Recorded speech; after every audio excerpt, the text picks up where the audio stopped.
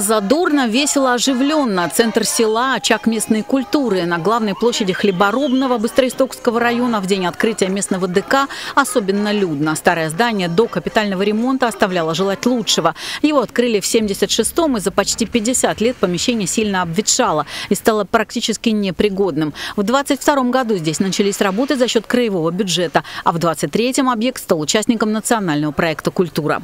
Объекты выбираются на конкурсной основе, и здесь играет значение целый ряд факторов. Конечно, это и готовность документации, и состояние объекта. Если для одного дома культуры достаточно сделать небольшой косметический текущий ремонт или заменить окна, входную группу, то некоторые объекты культуры, они находятся в состоянии, где без капитального комплексного ремонта проблему не решить.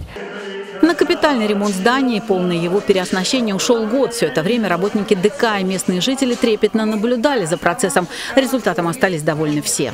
Когда зашли, конечно, было удивление.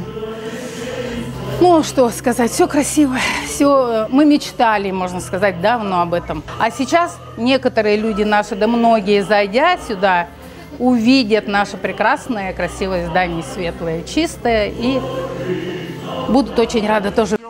У двухэтажного здания досугового центра обновили фасад, заменили внутренние системы отопления и электроснабжения. Для маломобильных граждан установили пандус. Просторные кабинеты, светлые коридоры, библиотека. Обновленное культурное учреждение не только выглядит презентабельно, но и отражает историю села.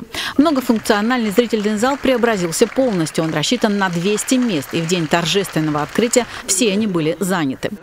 Мы пришли к выводу, что должно быть все-таки не дом культуры, а должен быть дворец культуры. Но и в принципе, у нас это, надеюсь, что это получилось. Спасибо, конечно, всем, кто принимал решение. Виктор Петрович принял решение о включении в КАИП в прошлом году. В этом году у нас проект «Культура». Единственный район, надо подчеркнуть, в этом году нам выделили деньги именно по нас проекту «Культуры».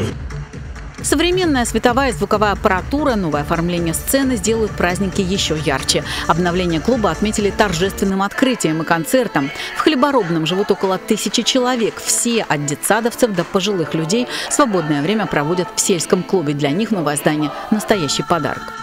Если бы в каждом сельском поселении был, так, было такое учреждение культуры, туда бы, конечно, шли и молодежь, и жители, рады, что все-таки есть возможность все это в реальность воплотить.